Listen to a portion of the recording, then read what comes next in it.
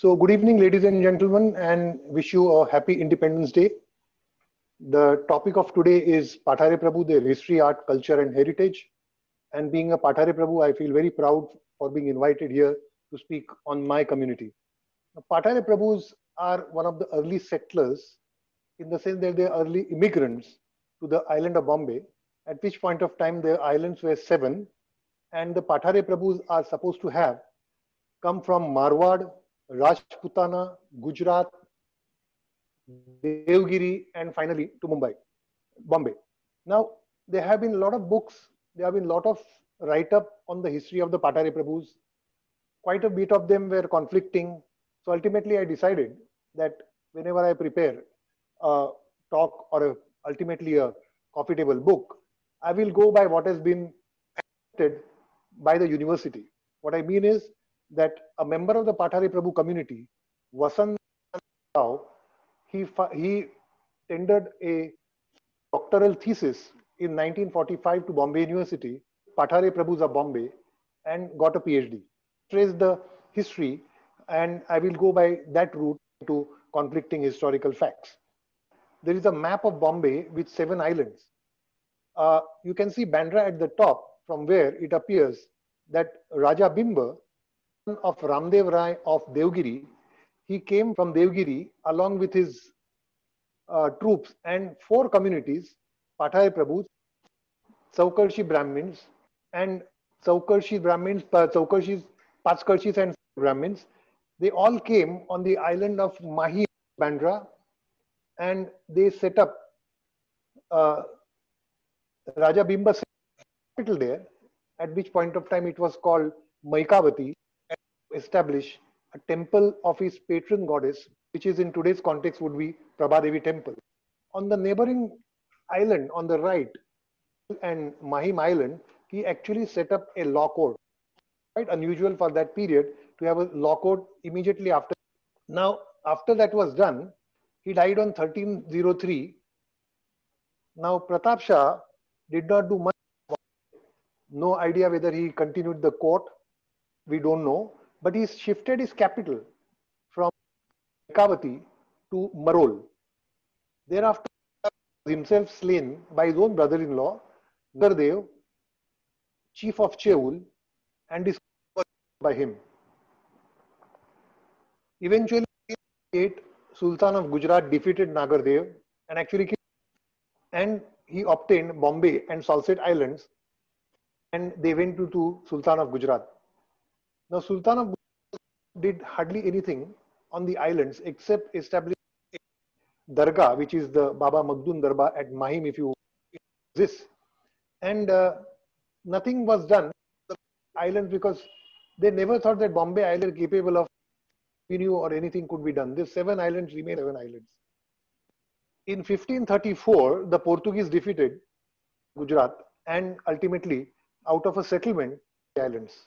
The Portuguese, basically like other European powers, had come to India for spices and Christianity. They found that the populate the population on Bombay Island was basically initially Hindus and there uh, during modern period some Mohammedans. They were so meek that they thought that first let us start with converting them to Christianity and spices part.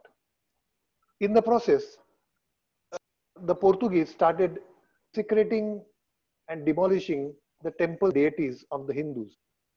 This incident took place around 560 when the Prabhat of goddess Prabhavati, which was set up by uh, Bimbara, that was so, that was likely to be desecrated.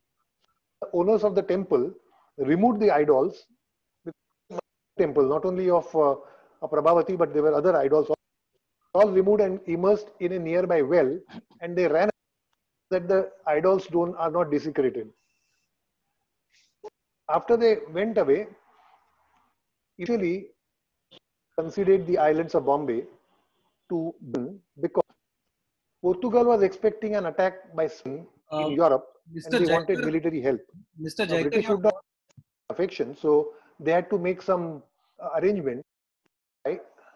A part of the dowry which was given Mr. Jayakar, Charles II, the King of England. Jayakar, can I intervene, please? Of Your in voice front is- of Catherine of Braganza, the king, in 1661. Yeah, And subsequently, and subsequently in 1662, the in hello, Uh, marriage place in London. Your voice is breaking in between. So if you after can the islands came to the British, Yeah.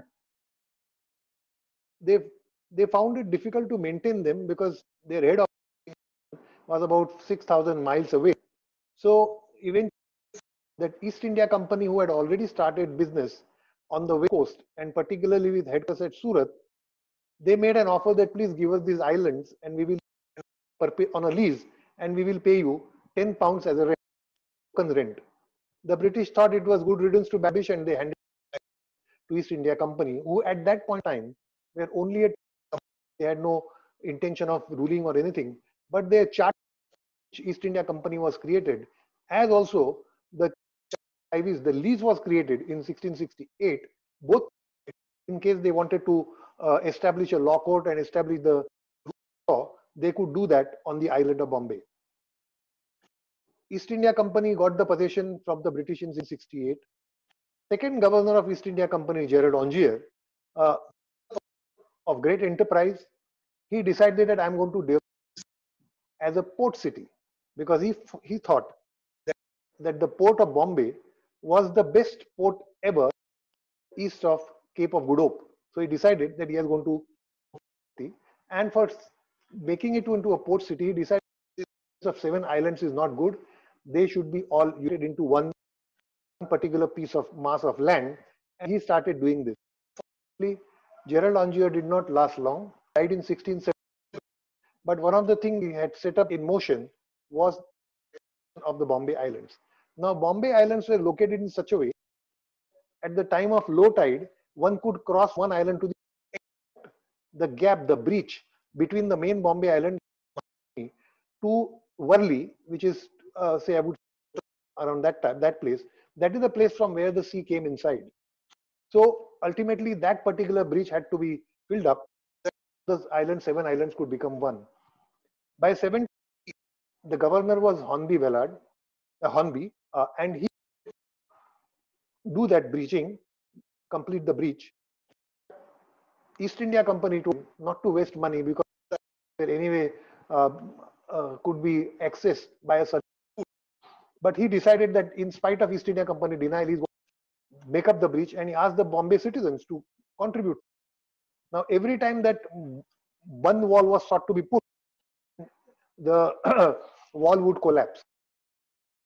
So, what happened was that the three goddess Mahalakshmi, Ma Saraswati came into the dream of the contractor who was doing that, Prabhu contractor named Ram Shivji. Now Ramji Shivji got a dream that if you remove these idols and set up in a job, it will be done. He precisely did that and the work was done.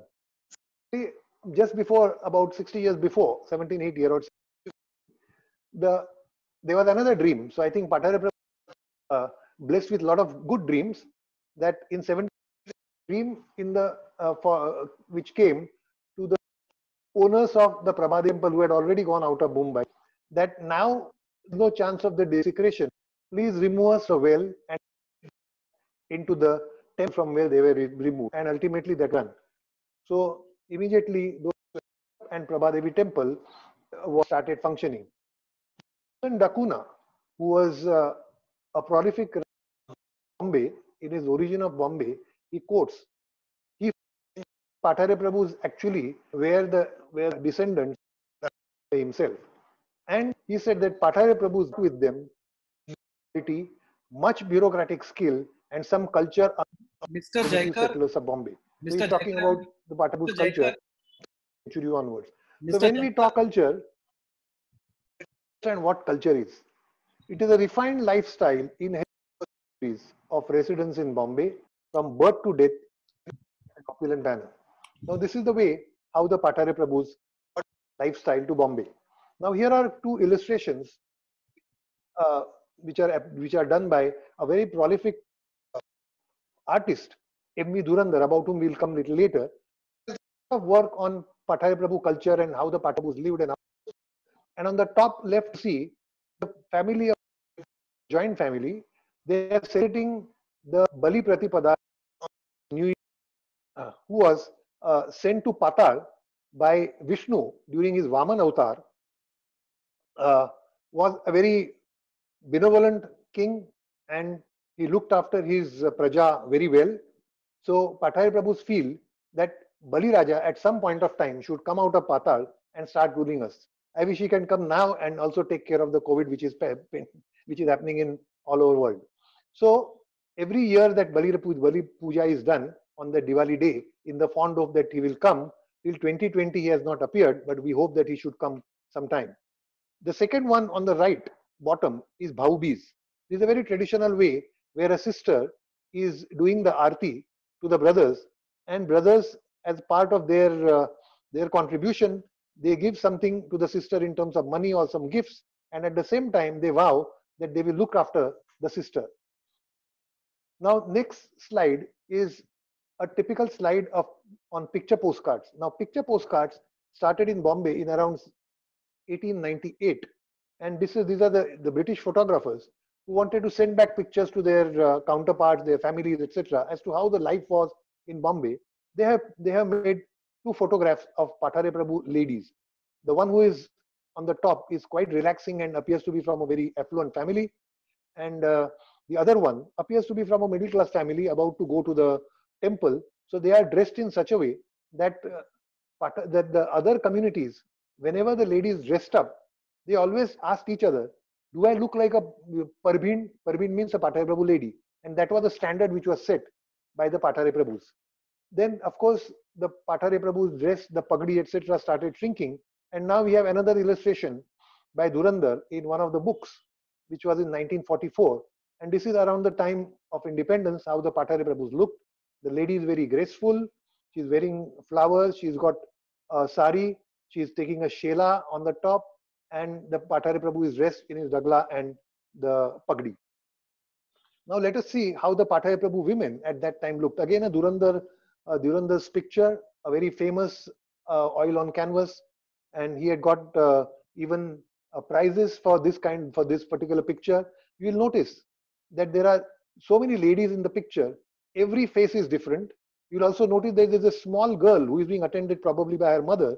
She is wearing tall shoes, and the other ladies you can see their blouses. You can see the hairdo, the way they have put the flowers in their this and the bride is talking to one of her probably a sister or a friend and the whole picture gives an atmosphere that that there is a very active session going on probably just before the marriage now let us say now in around 1908 there was a small exhibition held by uh, Daivadnya community in Bombay and it was attended by quite a few Pathare Prabhus. It was a small exhibition of art and craft of uh, in Bombay and while that was being attended to some of the members of the community thought that since the Pathare Prabhu men and women are so uh, well versed in art and craft, why don't we have a exhibition of our own and that too on a very large scale? And that thought was entertained because Pathare Prabhus, as we will, as we go along, we will see that they were not actually good in business. They were all professionals. They were good in art. They were good in maintaining their lifestyle, their culture, etc. So they thought that by having an exhibition of art craft, art and craft, the Patari Prabhu themselves will get an idea about the response that they get and then they can venture into some business activity by selling their art or, or creating art for others.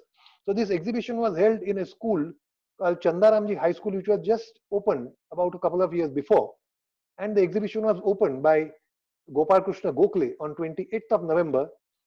There were 125 male and 46 female volunteers, 1,600 exhibits from the community whose population at that time was only 4,000 people from 400 families. Every day there were around 3,000 citizens of Bombay who visited the exhibition. And on 11th of December, uh, uh, uh, which concluded on 11th of December, on 2nd December 1909, the governor of Bombay visited the exhibition and appreciated the whole effort. The exhibition has an entrance fee of princely sum of two annas. And before the exhibition was conceptualized, the committee which was formed for doing this exhibition, they decided that we are going to have this exhibition divided into three parts. One part will be drawing, painting, and subjects related to fine art. Second will be needlework, stitching, embroidery, in which all the ladies were very accomplished. And third will be chemicals and health related products. So these were the three different things. Now let us see that in the first section, what are the different categories which come in.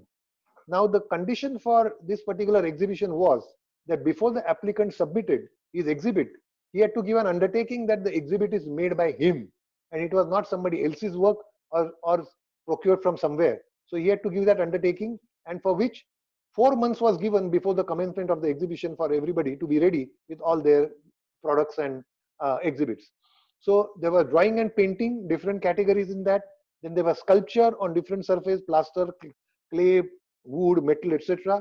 Then there were engravings again, done by the Pataya Prabhus on wood, stone and metal. Photography, different kinds of, uh, there were also subdivisions, landscape, portraits, etc. Then there was architecture, where architectural designs of houses, chawls, bungalows done by the Pataya Prabhu architects, machine design, tracing work, etc. Then there was a Gauri, then there were three uh. Putts means these are designs which were used at the time of uh, three pujas, the Gauri Puja, the Pitori Puja, and Vata Savitri Puja. So I've just as a demonstration, I'm showing the Gauri Putt, how it is done in a very, uh, in a very uh, colorful and a very artistic manner, so that entire, all the implements that are shown are household implements and there's a blessing from the goddess. So that this is a Gauri Putt which stand behind. Gauri is the mother of Ganesha. On the third day of uh, Ganesh festival, the Gauri is supposed to be brought by some of the Pataya Prabhus in their house. It's a balsam plant which is brought there and the and the story behind is that a balsam plant only flourishes for three days. So a Gauri, when she comes back to her to her uh, maternal home, uh, she has to stay there for three days. The first day she comes, second day she meets everybody, and the third day she has to leave. So that is the concept of the Gauri, and for celebrating is this particular design is used. Now we have calligraphy, the different samples of calligraphy in Marathi, Modi, English. Rangoli designs to which we are going to come. Rangoli was one of the art which was uh, specialized by the Pataya Prabhu ladies and in a big way. Now, any other, this is a residual, residual thing that any other work which is not covered of art is also uh, in that particular section. Ladies and girls had a separate category and particularly the girls below the age of 16. Then we come to the second section. Well, there is needlework. Now, before I checked up this, I was also not aware that needlework in itself had so many uh, different uh, subdivisions of different type of work, including if you see J, rafu work. Rafu work means actually you are repairing something which is torn and the patchwork. Then there is stitching by hand and machine, everything there. Then we have embroidery, again embroidery of different type, Japanese, crochet, Delhi embroidery, Surat embroidery, etc., ribbon work. Then there is seed and bead work, different on different surfaces, satin, grass, etc. Then we have the culinary art and a, a, a, very prominent lady of our community. Also, we are going to come to that. So these are the artifacts. These are in within the four months they had to do the jams and papads and pickles and everything, and that was also formed also part as an exhibit. Now, chemically manufactured soap, candles, ink, etc. Then homemade medicine. That also with with a little caption given to it as to when it is to be taken, how it is to be taken, what are the ingredients. So with this kind of a section, now let us have a little look at the exhibition itself. Now, unfortunately, this uh, these pictures which are taken are from a magazine called Prabhu Masik, which the Prabhu Masik was started in 1906. The printing is slightly poor and over a period of time it has also deteriorated, but you can see a little bit of it that we are right now looking at the section where the clothes etc are being shown. The next one is again, there are certain photo frame, there are artifacts, etc. This is how it was shown in the Chandaramji High School. Then we have a complete section for embroidery, stitching, and all that. And you will see little labels being put up also for every exhibit. Then we have the the one on the left hand side is the Rangoli section, which is a Rangoli on water. We are going to deal, deal with it a little later. Then there are certain artworks like portraits, uh, paintings, etc., which are also there.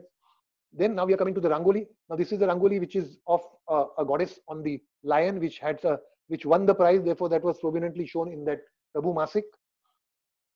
Then there are other artifacts which are also shown.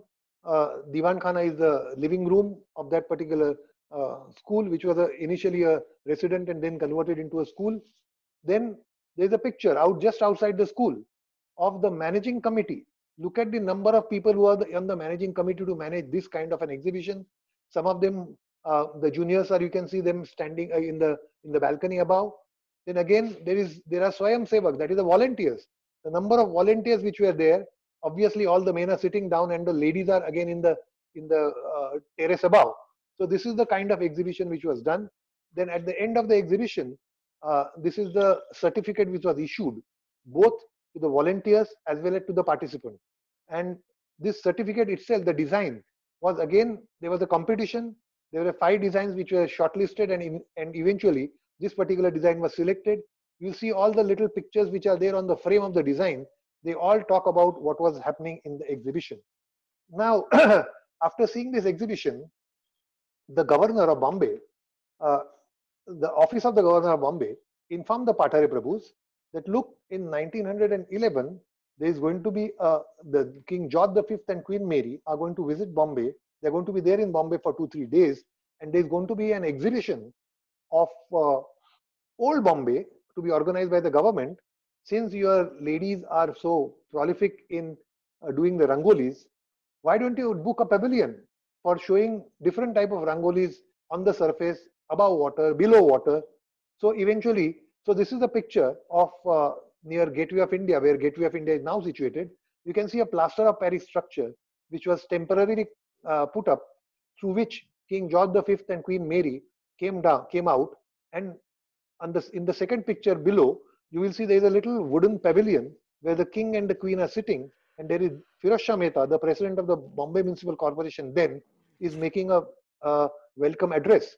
So this is how they entered Bombay in uh, December of 1911. Now, in order to show them, there was a children's fete, which is on the top, where all the children are singing songs, etc., and uh, and their uh, uh, majesties were present. This is the, on the bottom is a section of the uh, boundary or the circumference of the exhibition, which is shown.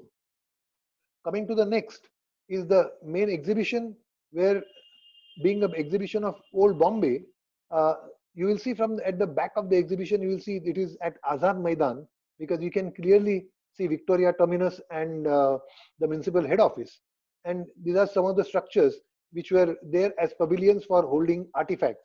Now there is on the on the right hand side below, there is a there you will see that there is a wide structure with a dome. Now that is the Cornwallis monument which was there originally in the in on the Bombay Green which subsequently, after it was made into a garden, it became Elphinstone Circle and subsequently became Horniman Circle. So in the process of making Elphinstone Circle, that particular thing was removed. Just in front of that, you will see that there are there's a small structure in probably in black stone that was the church gate. Now, original church gate was located somewhere near Flora Fountain, where it exists today, and that was the church gate. Now, apart from that, if we go to the next slide, which is a little uh, enlarged version, you'll see the church gate very carefully. And there is a little balloon, which was a novelty at that time. Then there is a, the exhibition, uh, the exhibition uh, area is there, which is just on the right hand side of balloon. And there's a Singer showroom, which has got a little tower on the extreme right.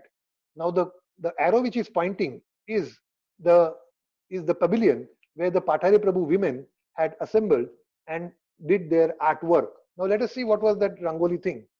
The special pavilion was located as I shown the location and Pathare Prabhu's women started doing the Rangolis from 3rd December, that was the opening of the exhibition, for 70 consecutive days. Doing one Rangoli would take 4 to 5 hours and about 32 Pathare Prabhu ladies demonstrated their art of Rangoli on surface, below surface and above water. The European, Muslim, Christian and Parsi ladies were very curious to know whether there were any schools which taught this art. Some of the designs look like oil paintings, and you see the picture which is on the left, which is a prize winning Rangoli, where it is shown uh, yeah, imaginatively, that Patari Prabhu women are actually doing arti to King George V and Queen Mary. And since they have come by the ship, you, you can see a little bit of ocean and the ship there. And this is the this is a rangoli, which I would I would say looks like a oil painting. And the subjects which were selected for this particular rangolis were mythological Hindu gods, goddesses, saints, flora, fauna, etc. And this particular uh, pavilion was visited by the royal couple. Unfortunately, I don't have the, the there is no photograph available of the royal couple which visiting the Patayar Prabhu pavilion. Now, apart from this uh, rangolis, Patayar Prabhus also participated with some of their artifacts in the in the bigger Bombay uh, exhibition, and you can see the other view of the exhibition where so many other people apart from Patayar Prabhus have contributed their artifacts, and that is how the exhibition looked. This is again a picture postcard, specially uh, with a design on this. Now, with the success of that particular exhibition, uh, Prabhu decided that it was high time that after 1909 nothing was done. So they decided, and M.V. Dhurandhar, who uh, was the person who initiated this particular idea of a second exhibition, he said that let us have one more exhibition. And everybody said, okay, let's do it. And then that's how this particular exhibition was conceptualized. You see the exhibition poster, which was also designed by Dhurandhar for that 1926 exhibition. And we let us see the next slide where Dhurandhar ultimately persuaded to that this exhibition should be held. You can see Governor Leslie Wilson is inaugurating the exhibition.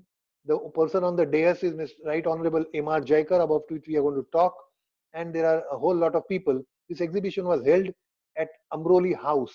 Now, this Ambroli House is somewhere between uh, uh, near CP Tank, and now thereafter it became a post office, and now even that building is gone. But that was the place where this particular thing was done. It was a residence of uh, uh, Dr. John Wilson, the person who started Wilson High School and Wilson College, and this particular exhibition was held in that premises. Now, let us see about little details about that exhibition. Uh, the hall was full at the time of inauguration by Hindu, Parsi, Christian, Muslim community invitees, and there were 4,800 about uh, of the population of 4,800, 300 graduates, 700 lawyers, 26 artists. But you will see that there is not a single businessman mentioned here. So ultimately 3,000 exhibits were exhibited and 300 volunteers were on the job for the exhibition. The exhibition ultimately, uh, it was visited by Sayajirao Gaikwad of Baroda on 15th of January, as also Shapuji Saklat, Saklatwala, a very prominent businessman from the Tata, from the uh, uh Tata director's uh, office. The exhibition has opened in 15 January and was visited by 30,000 people of different arts and community, uh, uh, castes and communities.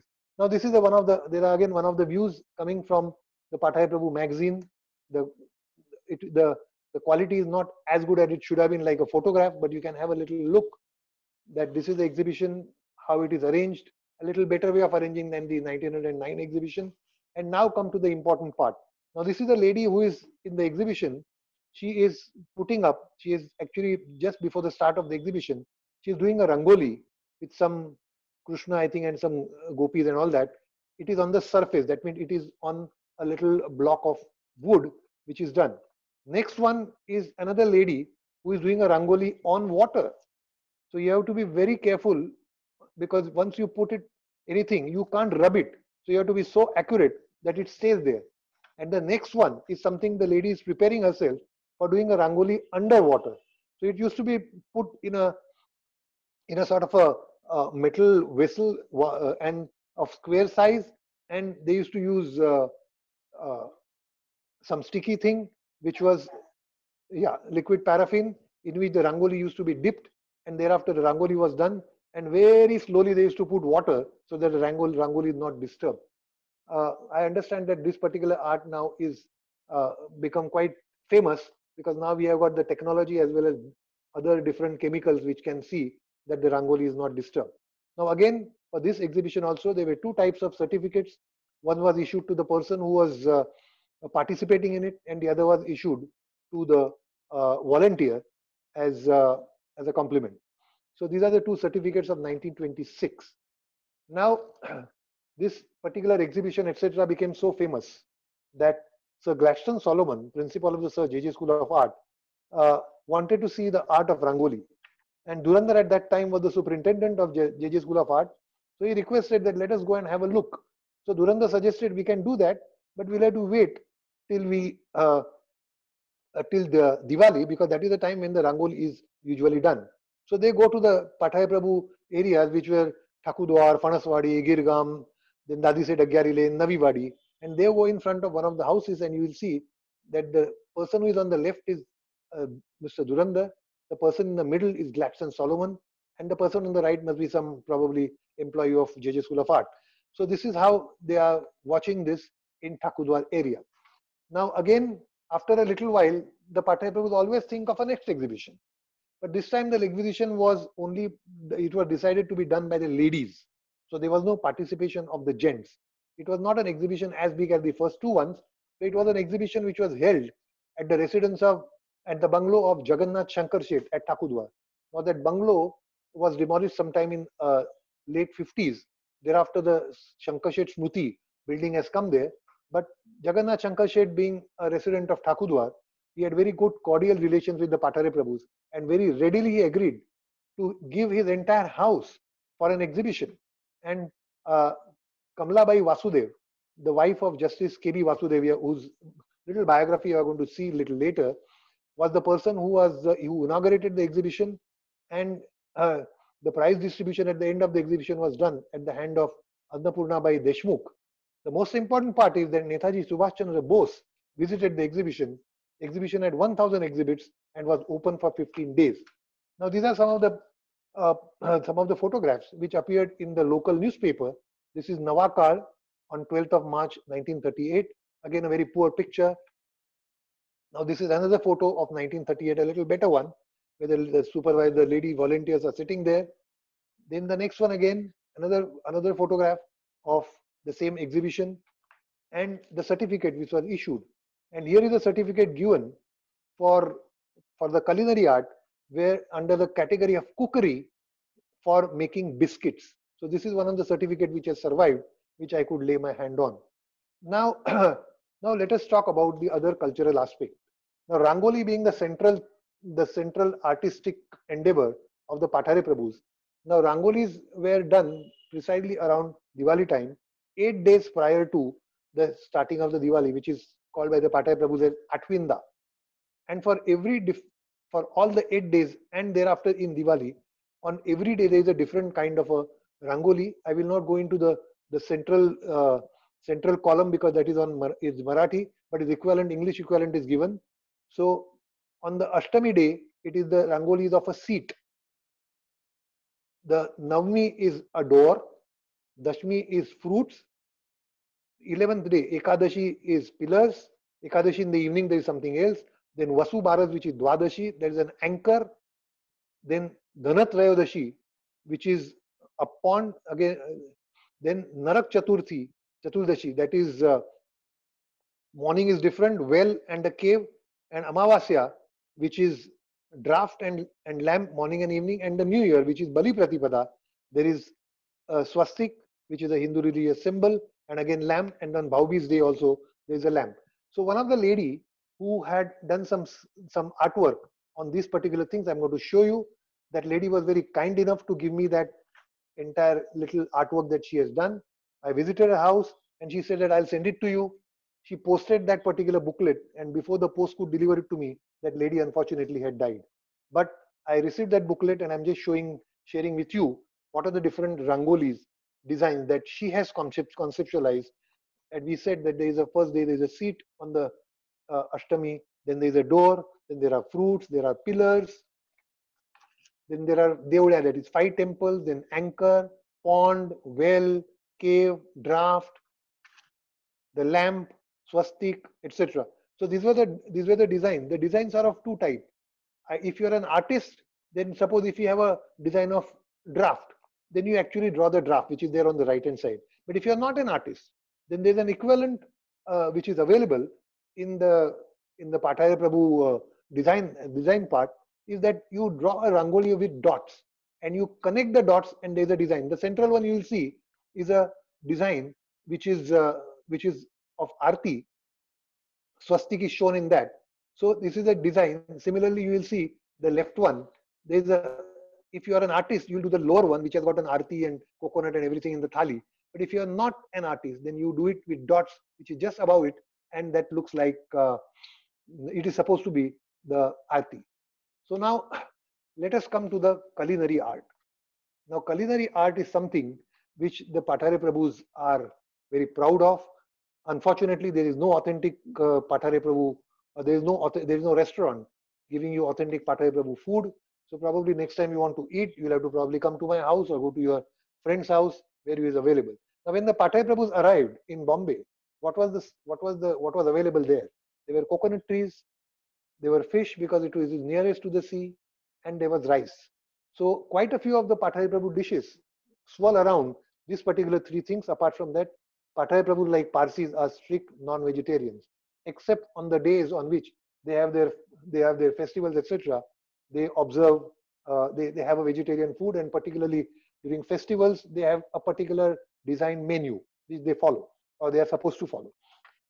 Now, there's a lady called Lakshmi Bai Dhurandhar who has written a book in 1910 and published it saying Hazar Pakakriya means 1000 recipes.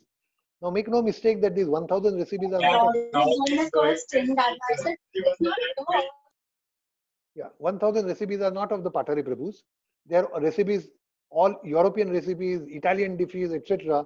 Vegetarian, non-vegetarian, there are all sorts of things. So let us see what this kind of book is this.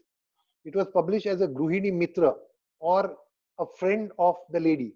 The, this particular book used to be given, handed over to a girl who was getting married by her mother so that when she goes to her uh, in-laws place, she has got a ready book with all the recipes so she can feed the entire joint family of his of her husband and make them happy. So that's how the book was being given between 1910 and 1940 with an edition of 2000 each. It ran into eight editions. Now, as a collector, I've got uh, the third, sixth, and the eighth edition, but I'm still looking for the balance. The book contains all the recipes. Not only that, as I said, special recipes for banquets, religious festivals, fast, even patient recuperating from illnesses. All those food are also given. The recipes are European, desserts, soups, side dishes, snacks, vegetarian, non-vegetarian, everything. Now let us come to some of the leading personalities of Pathare Prabhus. Lieutenant Colonel Kanuba Ranchod Kirtikar, born in 1849, studied in Wilson High School, Grant Medical College, did his uh, uh, MBBS, then ultimately gave a few exams in UK, and he was posted as a staff general surgeon in Karachi. Uh, he fought the Afghan war at Kandahar, uh, not fought, but as, as a medical officer, posted as a civil surgeon in Thane, fellow of the Bombay University, examiner for anatomy, etc., health officer, appointed special health officer for plague, which was there from 1896 till almost till 1915, 20, 16. Retired as a brigadier general, died in 1913. Apart from that, he was a Sanskrit and a Marathi scholar, wrote sonnets, poetry, president of the Sahitya Sammelan at Baroda, All India Medical Sammelan, Mathura. He was a botanical secretary of BNHS and was a justice of peace made by the government of Bombay. Now let us come to another person, Nanu Narayan Kothare, born in 1847, studied in Wilson High School, Wilson College, LLB from Government Law College, joined the solicitor's firm, Solicitor Herald as an article clerk, passed his solicitor's exam, and also started his practice as Nanu solicitor. In 1876, took a Parsi partner, Hormusji Chisgar, and the firm became Nanu and Hormusji. And for your kind information, the firm is still existing, but the name has changed a little bit. Nanu Hormusji and Company. It is the fifth generation of solicitors who are continuing that firm even today. Now, very important thing about him, as I mentioned about Chandaramji High School, which was one of the venues in 1909 for the 1909 exhibition, his client and friend, Chandaramji Seth, he had made a will. Chandaramji Seth was a little sad because although he was such a, a rich person, his wife was uneducated. So he wanted to establish a school in Bombay for the poor people so that they, the poor girls, so that they can take education from that school. But that did not happen during his lifetime. Now, Nanurayan Kothare had drafted his will and he was one of the executors of the will. As per the directions in the will, he distributed all the property to whoever the legatees were. And subsequently, there was a amount of around 3 lakh which remained balanced. Now there was no provision in the will as to what is to be done with that 3 lakhs. So he applied to the Bombay High Court and said that this particular amount which is lying unutilized, it was the wish of the settler that uh, that this was the wish of the testator that this that he wanted to create a school. So he said, if you permit me, I will set up a school. And that is how, and Bombay High Court gave him an order under a doctrine of cy-près. That's a particular doctrine under the Bombay, uh, uh, uh, under the Succession Act. And he set up the school, which is Chandaramji High School. And he was the first president. And that is how the school also gave the premises for that exhibition. So this is how he uh, continued the school. And uh, the school is still functioning. It was, it was originally a girls' school and now it has become a, a co-ed school. This is near CP Tank, and uh, quite a few Pathare Prabhu girls and middle class uh, girls from middle class families studied there.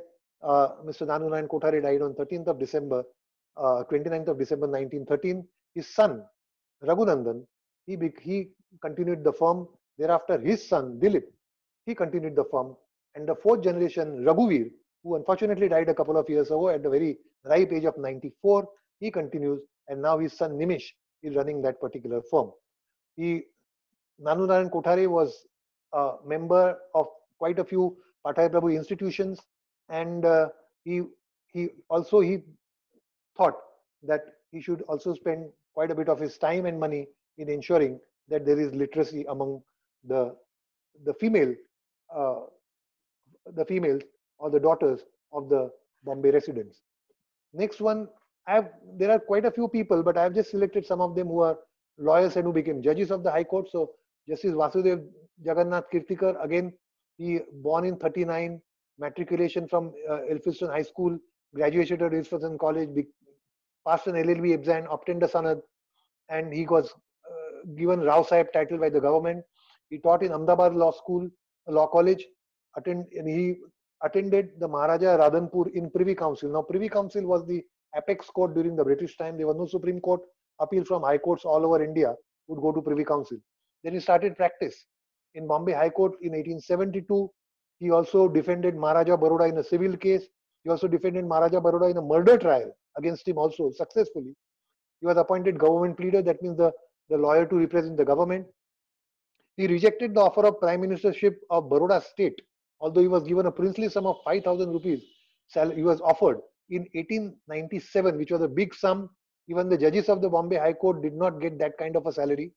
1902, he was elevated to the bench of the Bombay High Court as an acting judge because uh, Justice Chandravarkar was uh, appointed on a commission, uh, on a commission which was appointed by Bombay uh, government. He resigned. Thereafter, he came back to the practice, then resigned as a government pleader in 1906. This year is very important when I come to his grandson. I will tell you why this is important. Then government of Bombay conferred him with a title of Justice of Peace, died in Bombay in 1909, did a lot of philanthropic work and also social work. He wrote a lot of periodicals on Vedanta philosophy. Now we come to M.R. Jayakar, that is the grandson of uh, Vasudev Kirtikar. The man, his M.R. Jayakar's mother's father was Kirtikar. Born in 1873, matriculation from Elphinstone College, graduated from St. Xavier's College, post graduation in Elphinstone College, law degree from Oxford. Then he uh, joined the Gray's Inn and was called to the bar in 1905. After becoming a, a barrister, he came back to Bombay, started practicing in 1905. He entered politics and he was responsible, he and Tej Bahadur Sapru were responsible for persuading Mahatma Gandhi to attend a second round conference in London, which they did, and he traveled with him. Uh, 1916 to 1937 involved in political, social, religious, and cultural activities. In 1937, he was called to the bench of federal court. Now, federal court was something which was established by the government in 1935 under the Government of India Act of 1935, whereby uh, any interpretation of uh, the, it was like a constitution at that time. Any interpretation of federal uh, federal court term for the federal the, the constitution would be entertained by federal court. It was not an appeal court. Their appeal still would go from High Court directly to the Privy Council. He was judge of the federal court he was one of the first three judges who were appointed in 1937. Chief Justice Maurice Gwyer, who came from London. Shah, Justice Shah Suleiman, Chief Justice of Allahabad High Court, was also put into the federal court, and M.R. Jayakar was directly taken from the practice. There's a very interesting uh, incident which took place while I was going through the files while curating the Supreme Court exhibition. that I found in the National Archive, there is a file where the, the question was as to what sort of a dress the judges of the federal court would wear, because there was no such concept of a federal court between High Court and the Privy Council anywhere in the British colony. So ultimately, the three judges decided that Mr. Jayakar will decide what sort of a dress they should wear. Now, Mr. Jayakar was not a fashion designer or anything. He contacted Asquith and Lord, which are the big department store, which is there. Eh, that the building is there, but department store is not there. Where you have a Bank of Travancore and you have the Ripon Club on the top. Now, in that building was Asquith and Lord, who were the uh, uh, who were uh, uh who could uh, do the fashion designing, etc. But see, this since this was this has something to do with the legal profession. Asquith and Lord contacted Ede and Ravenscroft in London, who did the wigs, who, who did the uh, the gowns and other uh, legal paraphernalia, and and Ede and Ravenscroft sent certain designs which were accepted by ultimately accepted by M.R. Jayakar and shown to the other two judges who accepted. And for the first time, we had in judiciary, and M.R. Jayakar is wearing that uh, particular dress. Unfortunately, this is a black and white picture where the judicial paraphernalia was in navy blue. Normally, we associate with scarlet or black, but this was navy blue. So that is how M.R. Jayakar managed to have a dress designed for the federal court. Ultimately, in 1939, he was elevated to the Judicial Committee of His Majesty's Privy Council, that is the highest court. He was one of the seven judges who presided over the Privy Council from 1909 to 1946. And ultimately, uh, in 1941, he resigned because he wanted to come back to politics. He was appointed as a member of the Constituent Assembly in 1946, but he vacated his place for uh, Dr. B.R. Ambedkar, and ultimately Dr. B.R. Ambedkar was the uh, author. Uh, he was the uh, he was the chairman of the drafting committee of the Constitution. He was M.R. Jayakar after retiring everywhere. He was vice chancellor of Pune University. He, in fact, he donated his property to Pune University. That building is still there. It is now a film institute, and he died in Bombay in 1959. Now let us come to another judge, Ganpat Sadashiv Rao, born in 1950. He educated himself in a Pathare Prabhu institution, which was Prabhu Seminary School. Then in in, in Elphinstone School uh, Institute, from which he passed his matriculation exam. BA in mathematics from Elphinstone College. He could not, unfortunately, pass in mathematics, so he then decided that he'll do BA in history and economics. Then after that, he did MA in English and Latin. In those days, I suppose you could switch all these different uh, subjects. Then he acted as a fellow in Elphinstone College. Then went back to Prabhu Seminary as a as a headmaster. Can you imagine after doing all this MA and everything goes back to the school? Then acted as a senior teacher in Robert Money uh, Institute, which was located at Dhobitala, where now you have Jer Mahal. Then he passed his LLB exam uh, in 1980, started practice in the small causes court. Then he started practice in the High Court. And his maternal uncle Pandurang Balibhadra, he was with him. And then there are, he in the process of his career as an as an as an advocate between 1885 and 1892. He represented Maharaja Maharao of Kutch, appeared in the famous case Baba Maharaj case of Pune, appeared in the for Bombay government before the Aund Commission.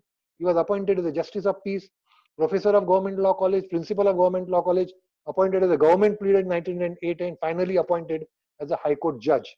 And he died in 1920. I forgot to mention, I had mentioned about that 1906 particular date, and I said that I'll come back to it because that was a time when M.R. Jayakar passed his exam and came to Bombay to uh, practice. So his so his grandfather, maternal grandfather, Justice Kirtikar, he felt that he, he that Mr. M.R. Jayakar should not take the benefit of his grandfather's practice and he should establish his own client. So he retired so that his grandson can independently practice. Very noble thought. Now we have another judge of the Bombay High Court was Keshav Balkrishna Vasudev. Remember, his, he was the wife of the person who inaugurated the second exhibition in of the art and craft in 1926. Born in 1880, 1883, passed matriculation exam from John Connon High School, a BA from St. Xavier's College, LLB uh, first class from and received a Justice Spencer's Prize. Passed the advocate's exam in 1907, joined provincial serv civil service, appointed as a sessions judge, elevated as acting session judge, confirmed as permanent district judge, confirmed as the first first grade judge, and finally elevated to Bombay High Court. And he retired and died in 1956. Now let us come to M.V. Dhurandhar. We have some, some of his artwork. M.V. Dhurandhar was a prominent artist, not exactly from the at the uh, when the period doesn't quite uh, coincide with Raja Ravi Varma, but there's a little overlapping period. And Dhurandhar was actually very friendly with Raja Ravi Varma. In fact, Ravi Varma Press also printed quite a few of Dhurandhar's paintings as prints and were sold at, as calendars, etc. Born in 1867, his childhood in Kolhapur, studied at JJ School of Art, won Waddington Prize. He learned, learned he, he got a lot of prizes uh, from uh, Bombay Art Society exhibitions. He was an art teacher in 1896 in JJ School of Art. He got his, he got he kept on having gold medals. The second gold medal in 1904, third one in 1907, and 1919 he became the headmaster of JJ School of Art. The fourth gold medal in 1910, fifth one in 1914. It was like a monopoly. Inspector of Drawing and Craft in JJ School of Art. Got the Wimbledon uh, Wembley Exhibition Prize. He was given the title of Rao Bahadur by the Bombay government in 1929. Most important thing is that he did four murals, of which we are going to have a look for the Imperial Secretariat. It was a commissioned artwork of a huge size, and we are going to see them for the for the for the uh, for the central government, that is the government in Delhi, appointed to officiate as the director of Sir J.J. School of Art.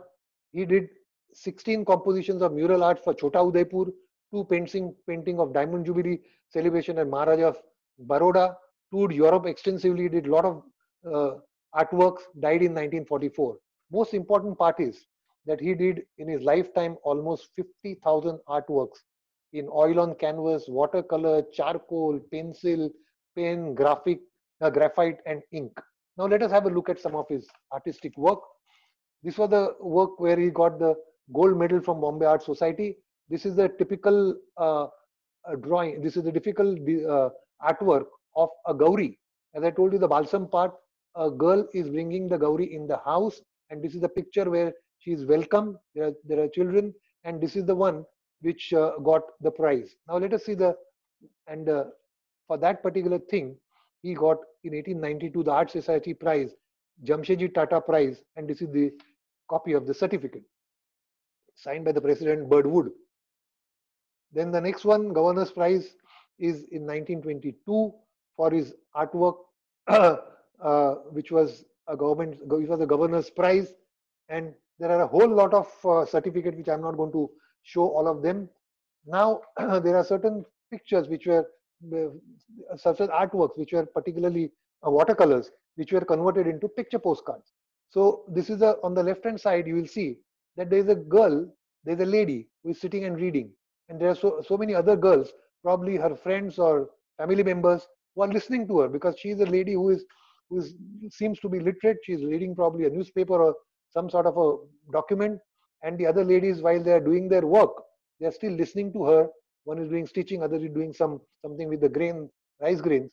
And on the right hand side is a typical Pathare Prabhu who would have been in 1900, how he would have looked in 1900. He is going out.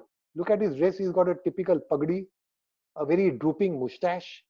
Then he has got a black dagla. Then he's wearing a white thing, which is an inner garment, which is uh, called the barabandi. There's a little pocket in front where he would keep his uh, handkerchief and a little uh, dubby of tapkir.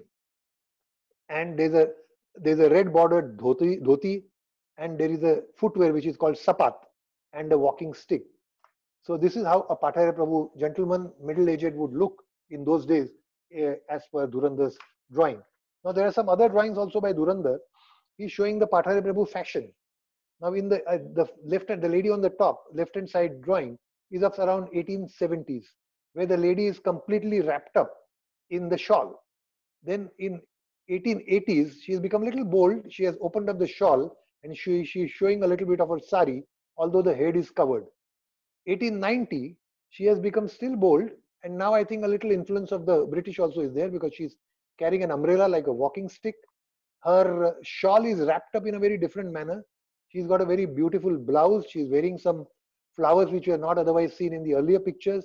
She's got a uh, she's got a blouse which has got a little collar and she's ready to go. Now the the one which is below also is a the, the typical Dhurandhar's uh, artwork of Pathare Prabhu girls. In the afternoon they are having a chat and different types of uh, blouses, different type of saris, the way the way they are worn, and the ladies are talking, chatting, and all their different styles, fashionable styles. Dhundar also did a lot of work on the head design. According to him, the a person or the community to which he belonged could be easily found out from the kind of headgear that he is wearing. Now you'll see a Pathare Prabhu headgear. Third line from the top on the right is a Pathare Prabhu, and that is his headgear around the time of this design, which must be in around 1900. Now let us see those uh, artwork, commissioned artwork, which were there in the imperial uh, uh, galleries in the uh, imperial secretariat. Now this is a typical court scene of a Sabad Sadar Divani Adalat, which was there in Bombay for appeals from different uh, lower judiciary in the Bombay presidency. And here is the judge is consulting a Pandit because probably the uh, some question of Hindu law is involved. So he's taking his opinion and Pandit is trying to explain. The Pandit is not the judge. The one who is sitting with the wig is actually the judge. But it's listening to him to understand the different concepts of Dharma Shastra. Next one. Now this is a part of that particular design. Let us see the full design. So it is a 15 feet by 5 feet full mural in color and there is a whole lot of not only the court scene but as a consequence of what is happening things are also happening on the left hand side and right hand side. You can see some ladies are in desperation they are trying to cry then on the left hand side there is somebody who is trying to uh, tell everyone what is happening. So this is one design. The second one is a, a dowry which was prevalent that time. And this is a design where the the the father of the the bride is handing over a whole lot of ornaments and jewelry as a dowry to the son-in-law. And son-in-law is very gladly accepting it. Now this is the second one. The third one is uh, something to do with the mohammedan law. According to the mohammedan law at that time a person on the deathbed the person to whom he hands over the keys would become the owner. So here there are two hands which are coming forward and the others are mourning probably didn't realize the concept but there are two hands which are straight away coming forward to collect the keys. So that was the that was the third design. The fourth one is the concept of adoption. Now adoption is something which is there only in hindu law and it is not there in any other law. So adoption is something where you can see the priest is doing that ceremony of adoption and there would be adoptive parents and the parents who are giving in adoption they'll be there in a fuller picture i'm just showing a portion of that picture there's some priest who is saying some mantras as a part of the adoption ceremony now Dhurandhar also did a lot of artwork for for magazines for books etc and one of them is here even for the advertisement of a very prominent photographer of Pathare Prabhu's M.N. Kirtikar even his particular uh, advertisement is done. Now this particular portion would appear on the back side of the of the photograph, which is put on a uh, on a thick uh, on a thick paper, and this would appear at the back side of that particular photograph. Now let us come to some of the things which, uh, when not properly understood, certain mistakes that could be made. You can see the stamp on the right hand side, which I think a couple of years ago or a year ago, this stamp was released as part of the Indian fashion. And below it is written, Pathare Prabhu. Now the funniest part is that the lady who is shown in the forefront is actually not a Pathare Prabhu. She is a lady of different community and she has been roped in as Pathare Prabhu. And in fact, the lady who is behind, the one which is now magnified in the picture on the left hand side, is a lady which is Pathare Prabhu adopted from Dhurandhar's painting uh, which he, uh, he illustrated a book of Rothfeld's uh, called Women of India in 1920. And this is the picture of that lady. You see that lady, it is it is said that probably this lady is going to the club or something. She is wearing shoes and she is now getting ready with a kind of a dress which she is and the and the shawl which she's going to eventually wear is lying on the table aside. She's got that typical blouse and she's probably looking into the mirror to see whether everything is proper. Now let us see what are the uh, Prabhus uh, who are of who are first in public life, either in in Bombay or in India or in community itself. Now Ramchandra Balkrishna Jayakar was a graduate of Elphinstone Institute of 1827. He was one of the first batches. Bhau Lakshman Harishchandraji, he built a ferry wharf dock known as Bhau Sadakka in 1841 and gave it to the government for government to uh, use it as a dock. Rao Bahadur Nana Moroji, first Indian judicial magistrate of 1857. Mr. Janardhan Vasudevji, first Indian judge of Bombay High Court in 1864. Mind you, the High Court came in 1862 and he was appointed as a judge immediately after two years. Khanderao Moroji, first Indian solicitor, I would say native, native solicitor of 1858. Now what had happened was that actually he would not have been the first one. There was another Pathare Prabhu who was Vinayak Harishchandraji, who for becoming a solicitor, you had to actually sign articles and they, at that time the all the solicitors with whom articles would be signed were all British. When an application was made by Vinayak Harishchandraji and he even offered to pay 4,000 rupees for being taken as article clerk, none of the British uh, solicitors were ready to do it. Eventually, he's, he uh, uh, offer came from a solicitor in Calcutta. He said, "You come there, I'm willing to take you as an uh, article clerk."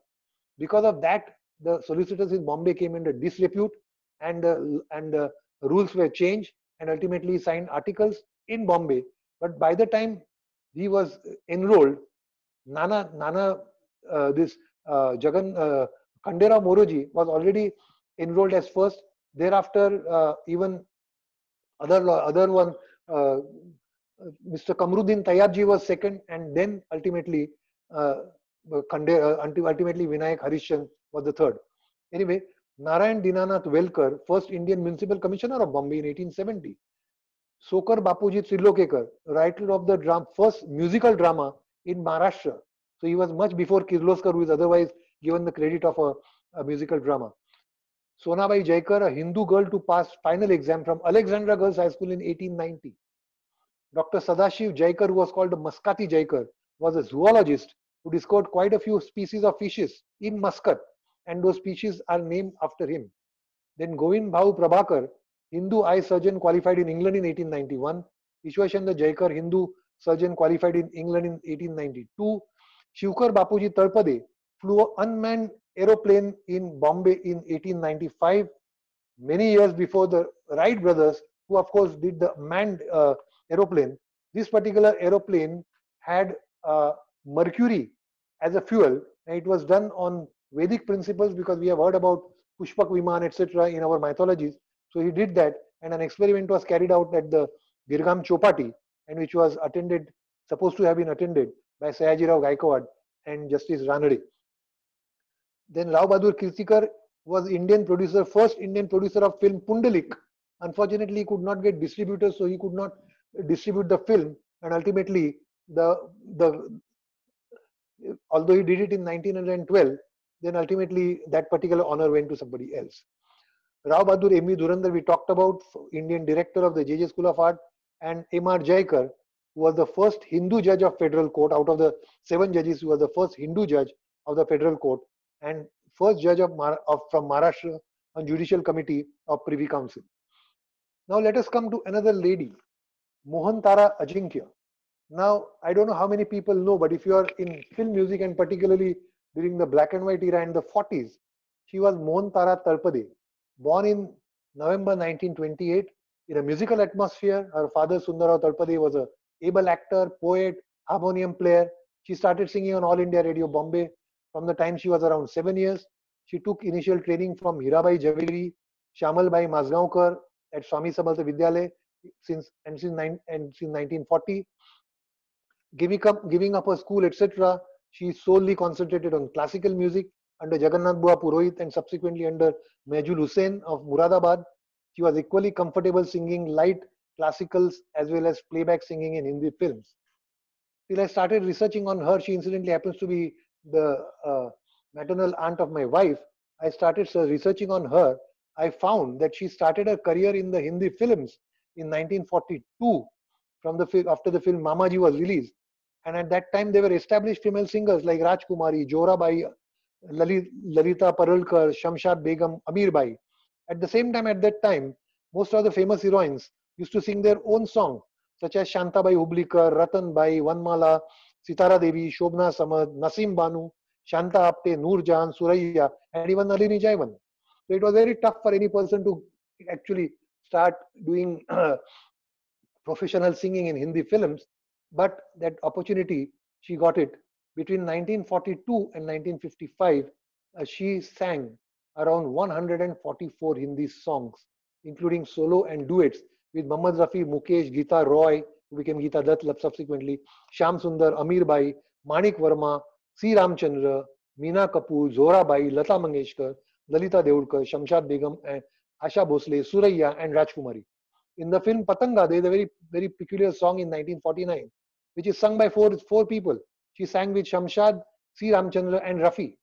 After her marriage on 13 February 1949, she continued to play, uh, do this playback singing, but the new era of non-classical songs had started taking over. We had music directors who started giving different kind of music, although it was melodious, but that was not Mohan Taras was not accustomed to it. However, she continued singing on AIR and cut quite a few Marathi Bhagwat, Bhagwat Bhavgit records for HMV. She used to participate in classical musical competition known as conferences in late 40s and has won many prizes. And you'll be surprised to know that in one of the conference, she even defeated Lata Mangeshkar in that conference. She was a very shy person, but as an artist, she was full of confidence. While singing in innumerable mehfils. she died at the age of 74 on 31 January 2002. Now we have talked about the history of all the Pathare Prabhus who are no more. Now let us talk about a Pathare Prabhu who is very much living and who has, since she has married outside the community, probably the community did not know, but thanks to my uh, friend Devani Jayakar, she said that there is a lady who is not only a prolific Kathak dancer, but is also a Padma Bhushan. And then I was surprised. I talked to her and found out her bio. Very interesting. Born on 17 May 1930 at Baijiwanji Lane, Thakurdwar. She was one of the foremost dancers of Kathak. She is today. Is a distinguished disciple of traditional Kathak guru like Shambhu Maharaj, Birju Maharaj, both Lucknow Gharana, Sundar Prasad, Radhalal Mishra of Jaipur Gharana, and Ashik Hussain Baranas Gharana. In her capacity as a dancer, teacher, and choreographer, she had held many prestigious positions.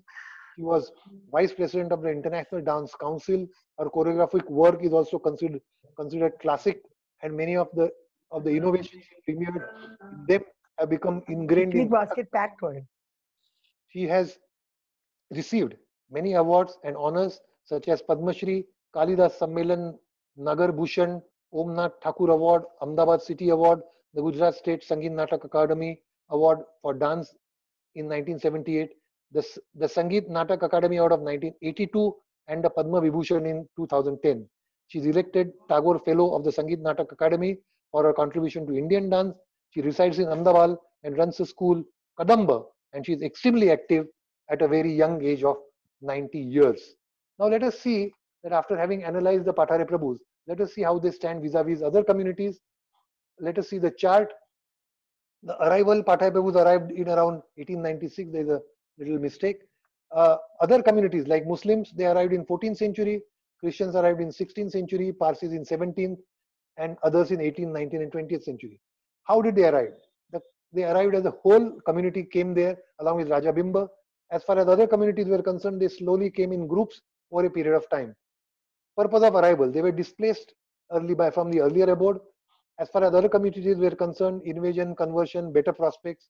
The main avocation of the Pathare Prabhus were lawyers, judges, doctors, artists, clerks, and dramatists. In fact, the word Prabhu was synonymous with the word clerk because they acted as a bridge between their earlier rulers like the Portuguese and also the British. So that was the that was their avocations. As far as other communities were concerned, business, profession, and other available options. Cultural base, a firm base due to complete literacy and early arrival. Now, talking of literacy, the ladies during even Portuguese period could could speak and write Portuguese, and the and the literacy is hundred percent. Had to and as far as the other community, they had to create base after more community persons migrated over a period of time. Present population around 10,000 all over the world, and the uh, the other population, of course, of the other communities in lakhs. Maybe the Parsis, I, I say 70,000 could be less. Literacy 100%. In other communities, it is of varying degrees. Now we come to the last chapter, which is a little controversial chapter, but I will not run away from it. If there are controversies, let there be. About the widow remarriage. Although Pathare Prabhus were learned, etc., but in their observances, they were little orthodox. They would not they would not like a widow remarriage in their community. That such a remarriage took place in around 1860s, where a person who was canvassing that widows should be remarried, but uh, and he himself lost his wife, so he decided I'm going to marry a widow. Now that particular thing was not appreciated, but he still went ahead and married a young widow.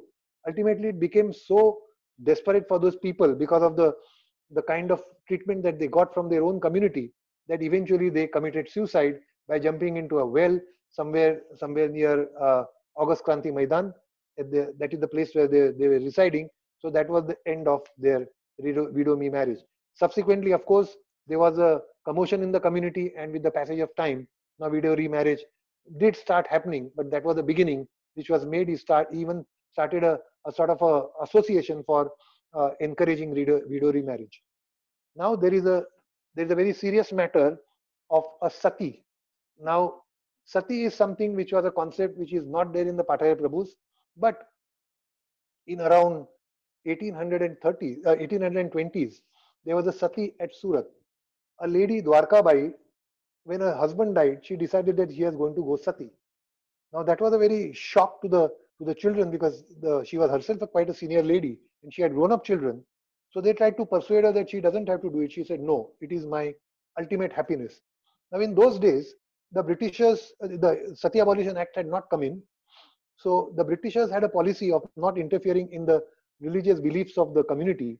And therefore, they, they but there were, there were restrictions. So the restriction was that the collector of the place had to go and ascertain whether the lady was doing it voluntarily or she was being forced to do it. So one Mr. Anderson, assistant collector, who goes to her house to find out and uh, persuade her that please don't do it. It's a very, uh, it's something which will hurt you. You will not, you're not going to enjoy this. So please don't do it. She said, no, I'm going to do it. He tried to check up with the family members, etc., and found out that she was doing it voluntarily. In fact, the family members were crying and trying to persuade her not to do it, but she decides to do it. Ultimately, in Surat, it appears 15 years before, there was no other sati, so it became a very uh, a, sort of an event, and uh, thousands of people in Surat came to the, the to the to the banks of the Tapi River, where there was a where there was a, a sort of a crematorium, and this then then she was taken there. She was sitting on the with the husband's head in her lap, and that is how she was carried to the cremation ground. And ultimately, uh, she sought and she sat on the wooden pyre. She arranged she arranged uh, uh, the wood the wooden things on this. Then she poured even uh, ghee on it, and ultimately, just before it was going to be lighted, Anderson again went there and told her that look, even at this point of time, you can retreat, and I will ensure that you will be taken back, etc. She said, no, I'm quite firm. I want to do it. So there were two. There were there were two coconuts on the pyre, out of which she picked up one of them and threw it in a particular direction, saying that the next sati will be in that direction. Now we don't know whether that sati came from that direction, but after that the pyre was lit and ultimately within about 10 minutes everything was over. Anderson had to make a report to the governor in council, governor, governor general in council about the about the entire event and and and Dr. V.D. Rao in his thesis had annexed a copy of that report which gives the entire vivid description of this sati episode. And after having done that, the important thing is that that particular coconut, it appears was picked up by one of the members of that community.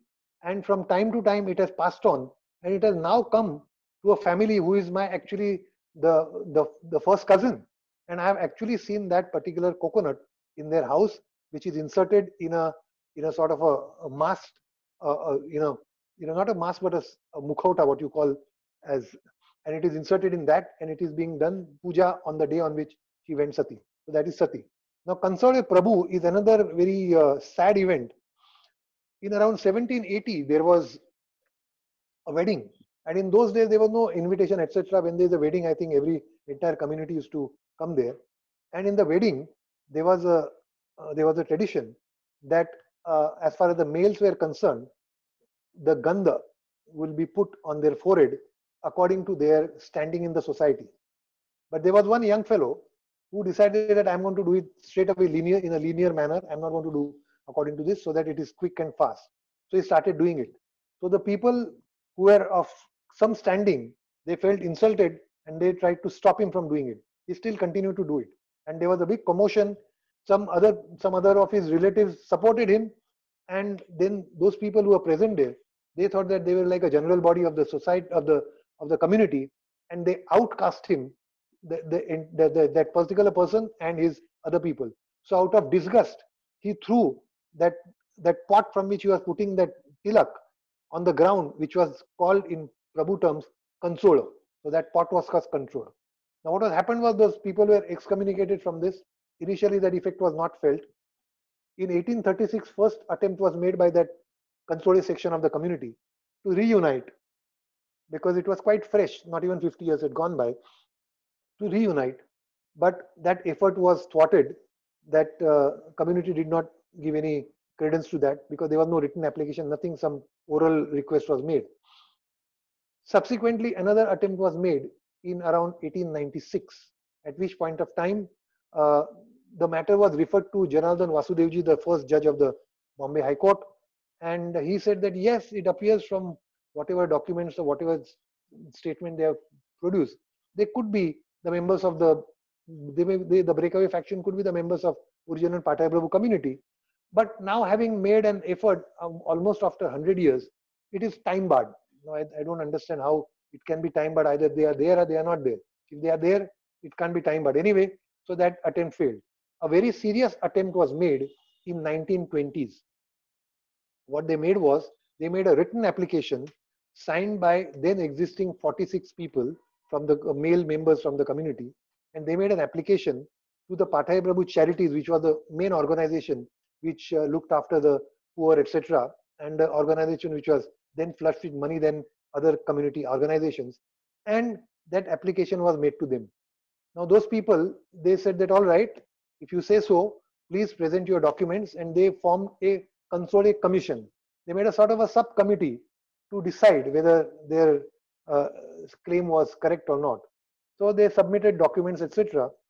But before those documents could be considered, what happened was that a the girl from that console section married a boy from the main community, and there was such a there's such a big commotion there that at the different community at different community forums they were the the console prabhus were talked in a very derogatory manner, etc. So ultimately, the, uh, the secretary of the commission, Mr. L.B. Nayak, he suggested to them that see in this atmosphere, you better withdraw your application because if you still insist on being this matter being decided by the community, there's every chance that you will not get justice. So believing in that, they withdrew the application and uh, so they now after withdrawing the application, obviously the Pathare Prabhu charity said that the subcommittee should be dissolved, but there's nothing for them to decide. So they dissolved that commission. But they, these people, the controllers did not stop there. They went to uh, the Jagat Guru Shankaracharya and showed all the documents to him and said that please tell us whether this is uh, that our uh, this particular are we a, really a, a, breakaway faction of the Pathare Prabhus and whether we have followed we have been following all these years all that the cultural and other uh, traditions of the Pathare Prabhus and please give us a Ajna Patra. So that ultimately Ajna Patra was given which said that yes, you are a breakaway faction of the Pathare Prabhus and therefore uh, you should be admitted. Now, they, the Katsuri did not stop there. They went to the Nanu Harmuji and Company solicitors, appointed them, and sent a brief as a counsel brief for uh, uh, advice, a sort of a written opinion. And that opinion was of Right Honorable M.R. Jayakar.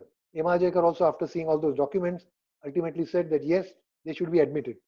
But by that time, since the commission was dissolved, they had to make a fresh application. After the application was made, uh, Shankaracharya said that it is better that uh, instead of announcing my Ajnapatra, I would rather give a chance to the charities to come and also have their say. So he arranged a meeting in a temple near Thakurdwar and called the office bearers of Pathare Prabhu charities and also the Kansore Prabhus. They all assembled there but before a day before, the charities made a trick. they said they told their secretaries that you are going to attend the meeting and first raise a controversy that the Shankaracharya doesn't have a jurisdiction to go into this community matter. And when the meeting started, these two people got up and said that you have no jurisdiction and we have not appointed you by consent to decide this matter. So please don't interfere into the community matters. So ultimately Jagadev Shankaracharya said he was the Dr. Kurtakoti of Karvir Peeth. So he said that if I wanted to bring a, a, sort of a conciliation, but if that is not happening, then unfortunately not, I can do nothing about it. And that's how the matter is. In 1946, the last attempt was made by 32 people of the community saying that we have shrunk to such a small section. In order to keep our purity, we have all the marriages, etc., took place within our community. There are no intercaste marriages. And now a situation has come that if we have to continue like this, we'll have to marry our own cousins. So please admit us. The community said all this thing is now old, we are not going to do anything, and ultimately that controversy died. Thereafter, of course, Kansore Prabhu's intermarriage, they had intermarriages, etc., and that community is also existing simultaneously. So these are some of the controversies which are there. Before I end, I forgot to mention a very important thing that happened sometime in, during the time of Peshwas, when Peshwas in 1730s had taken possession of Salsette Island at, at Bassein, and it was uh, from the Portuguese. And at that time, uh, there was a controversy between the Pathare Prabhu community and their own Rajgurus and their and their Rajgurus. So therefore, the and, I'm sorry, not their own Rajgurus, but some other Rajgurus who felt that Pathare Prabhu community does not employ them for their marriage and other rituals. So they ultimately said, and there was a there was a case of that widow. uh, there was another case where a uh, person wanted to marry a widow, and that and the community said no. So that person did not marry. So taking that, they ultimately uh, wrote to the uh, to the Subha of uh, Salsette that that this is a this is how these people are. They are of their their origin is not from Raja Bimbadev. They are Shudras. They are not Kshatriyas that they are claiming, and such declaration should be done. So that that particular the Subedar of Basim he made such a recommendation to uh, Balaji Balaji Bajirao Peshwa in Pune, and without giving an opportunity to the Pathai Babu community, that was accepted, and they were held to be Shudras, and uh, the and the pujaris were told that you go and do perform the pujas not as for the kshatriyas but for the shudras. Now this particular thing started hurting the community. Almost it took 40 years for the community to ultimately decide that they are going to ultimately do something else. That Subedar was gone, and they the other Subedar had come, and he found that the earlier Subedar who had done that had done this ex parte. He never consulted the community. So then he said that he called both the the the, the faction of those Brahmins etc. and the community, and ultimately decided that actually they are they are not uh, Shudras, they are Kshatriyas, and recommendation was made to the uh, to uh, the Peshwa. By that time, it was Madhavrao Peshwa, and uh, Madhavrao Peshwa consulted his Chief Justice Ramkrishna, this the Prabhune, Ramshastri Prabhune, and ultimately decided he reversed that judgment and declared them as uh, Kshatriyas and told the Brahmins that you perform pujas as Kshatriyas. Nana Fadnavis, the prime minister, was not happy with this. So he called at uh, the emissary who had come to Pune on behalf of Pathare Prabhus. One Shastri had come. He called him and the chief justice to his residence to find out whether Peshwa's decision is right or wrong. And uh, Rav Shastri Prabhu said that, look, the decision is, appears to be right. The documents submitted are genuine. And in any case, those documents also have a supporting Ajna Patra of Shankaracharya. You can't deny his authority. At least in those days, authority was accepted and ultimately they decided that uh, the Pathayapus are Kshatriyas, and that's how the controversy ended. So I think I have dealt with all the controversies, the good, bad, and the ugly, and we come to the end of my talk. I hope you are enjoyed. I'm ready to take questions. Okay. So, uh, Dr. Jayakar, the first question was, is this a Mumbai-centric community or where else in Maharashtra can we find Pathare Prabhus? See, it is not Mumbai-centric community. When they came, they were at different parts of uh, Salsette, which was which is the island from Bandra to uh, uh, up to Bassein, that island. They were there. Mm-hmm. They were there at Cheul and other places also. So the mm-hmm. community, although most majority of the community, like the Parsis, was situated in Bombay, but uh, the community did not only remain in Bombay. The main the main focus of the community was Bombay, and now of course they are spread all over. But still, I would say the majority of the community still continues to remain in Bombay. One of the very early questions was you explained that a Prabhu is a clerk. What does Pathare refer to? Pathare is a is a is a, a sort of a, a word which came from Patane Prabhu because they appear to have come from Patan in Gujarat. So the Patan mm-hmm. since they came from Gujarat and they had Gujarat mm-hmm. as their also their language in during the time before they came to uh, Mumbai.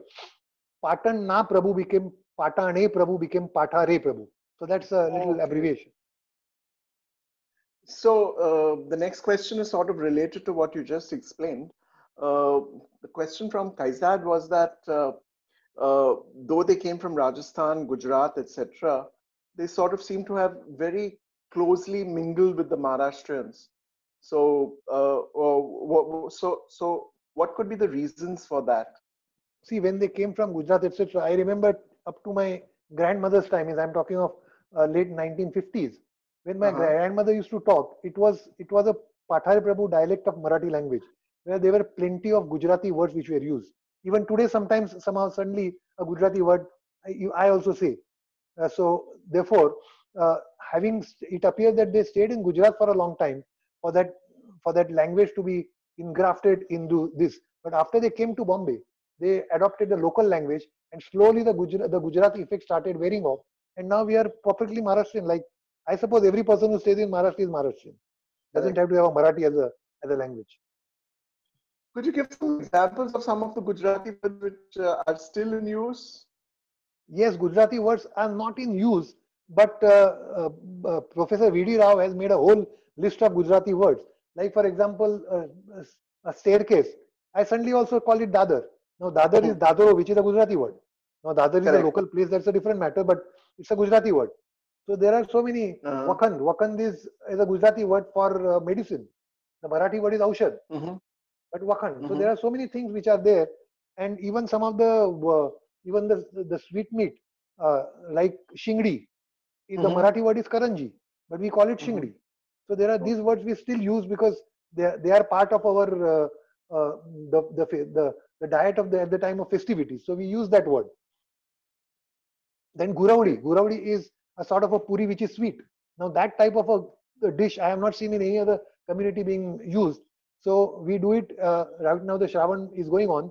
So on every Monday we have got one different sweet dish to go along with the normal uh, Shravan food. So we have one that is last only last Monday only my wife prepared this guraudi.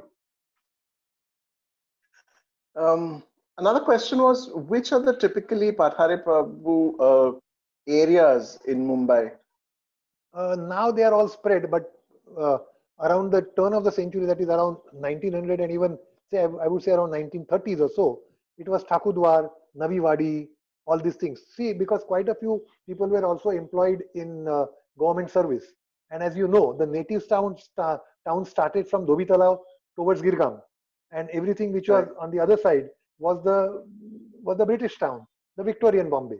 So they were staying at a you know in such a way that they could actually walk to their uh, place of work if they were employed in the government employment. And Flora Fountain was the place of business. So they you spend a lot of time on the Sure. Yeah.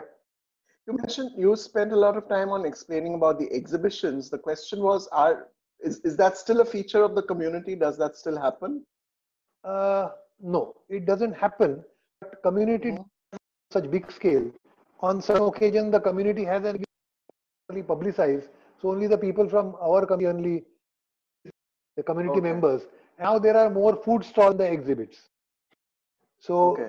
people who the non non Pathare Pathare Prabhu food stalls, we got particular what eat there.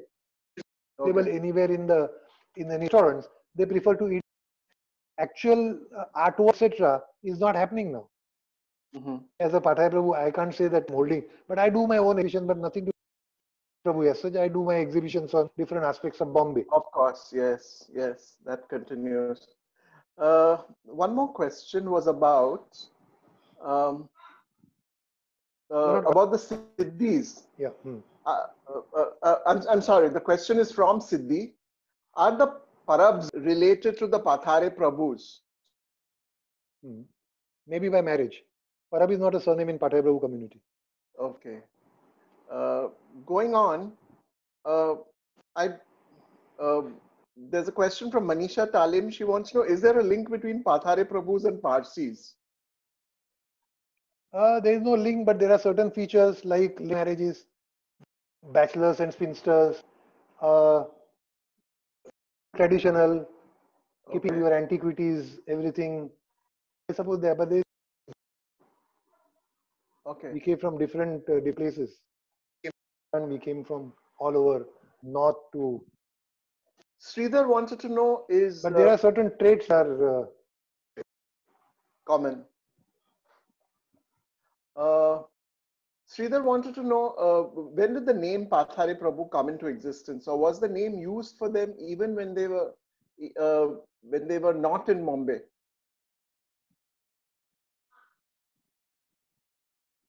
Hello, yeah. They this I think named in Gujarat. they were named. earlier, as I said, Patan Prabhu, Prabhu became Pathare Prabhu. So it came from Gujarat Okay. because we came from Patan into Devgiri. Okay. Means Prabhus from Patan. That is Gujarati word. Okay. That's how it came. But before that, I don't think I have any idea. Okay. Oh, before Patan, what they were. So this So V.T. Rao exodus. says that because of this migration is because in more than 100 years ago, even Wadi and Raj- uh, some words from Rajputana, they were all there in the languages of. But Gujarati words remain for a very long time. Interesting uh, drama which was uh, enacted called Hunda, Dowry. There is a Uh-huh. old Pathare Prabhu couple whose dialogues are in. It's a very interesting uh, way to uh, listen. I don't think that childhood I had seen the performance of, of that Hunda. No Pathare Prabhu has ever performed. it. It has got interesting. I got uh, the text of the script of that drama. Interesting words, and those Gujarati words are very much. Inheritance. Okay. You mentioned about the exodus from Rajasthan and Gujarat, but could you tell us in a few words about what caused that exodus? Well, these are the things which I suppose uh, Gaurav- the uh,